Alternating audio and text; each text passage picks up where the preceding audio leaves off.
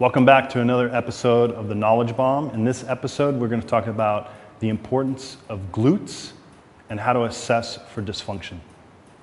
A lot of you guys don't have glutes that turn on, sequence correctly, or there's just a dysfunction left to right. Uh, it's pretty prevalent. I think a lot of the sitting we do in our lives tends to turn glutes off. Uh, there's a bunch of other reasons why that might be occurring. One of the, one of the examples I always like to talk about is, is our runners. If you've ever seen somebody run down a road and their knees are caving in and it just looks just painful and like that person should not be running, that's typically a result of, of a lack of external rotation. If you, if you think about it right, femurs are driving in. It's the glutes that actually actively externally rotate our femurs. Uh, and so in that case, uh, and in the case of folks who squat really, really heavy and the knees dive in. It might be happening to you. Uh, I'm sure, I guarantee you that you've seen it in somebody. But next time you see somebody squatting, just take note of their knees and if they actually stay parallel and they're able to actually externally rotate them. So we're gonna talk a little bit about how to assess uh, glute dysfunction. Um, now the type of dysfunction uh, goes a lot deeper than, than this video. However, just doing a couple different tests will go a long ways into maybe what some exercises you should be including, things that you should be prioritizing in your training. The importance of the glutes is really to keep healthy knees uh, and healthy hips uh, intact, performing at a very, very high level. And so if you think about a heavy squat, front squat for instance, and your knees are caving in, you're giving away a lot of power that if you develop glute strength, glute function, could be sharing some of that load. So from a performance standpoint, it's huge. If you think about getting buried in a, in a heavy clean and your knees are diving in, uh, if you could, and it's hard to quantify it, but it, let's say you developed your glute strength 20% stronger, right? And that's kind of a, I don't know, throwing out numbers like that is all kind of weird. But if your glutes were 20% stronger, think uh, what impact that could have on your front squat. So rather than just front squatting and front squatting and squatting and squatting because you need to drive your, uh, you know, your numbers up, think about the little pieces involved that support, share some of the load. External rotation in the femurs, right, in your hips, is a position of power efficiency. It's one that we want to cultivate.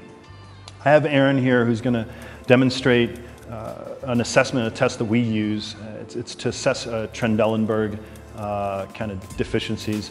Uh, Trendelenburg was a neighbor of a doc. He's got a couple variations of his tests out there. It's from the orthopedic sports world that we've adopted. And it's basically just to see and assess uh, at, at, at, a very basic level Aaron's glute function, if you will. Uh, so this is where I would start. Uh, the second test that I'm going to show you is going to be a Bulgarian rear elevated split squat, and we'll talk about a little bit about when you perform that test, how to do it, and what we're looking for. So here, uh, you're just going to get your athlete uh, in, a, in a glute bridge setup with a barbell. It can be with a PVC pipe, depending upon uh, the strength of your athlete. I'm going to go ahead and ask the athlete to go ahead and drive the hips up to where shoulders, hips, and knees are all creating a straight line. And from this position, right, we're gonna first demonstrate what uh, actually glute function, glute stability um, looks like, healthy structure. Aaron's gonna go ahead and raise his left leg, and the barbell is gonna stay parallel. Now he's gonna go ahead and reset, reset the bar's position, going back up, and then the right's gonna come up, and you notice that the barbell is staying level.